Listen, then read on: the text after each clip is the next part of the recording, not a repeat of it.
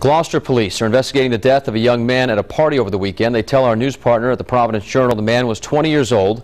Police went to a family party around 8.30 Saturday night and said they found there had been an incident. The victim was rushed to a hospital in Putnam, Connecticut, then a hospital in Worcester where he was pronounced dead. The man's name has not been released. Police say it does not appear underage drinking was involved.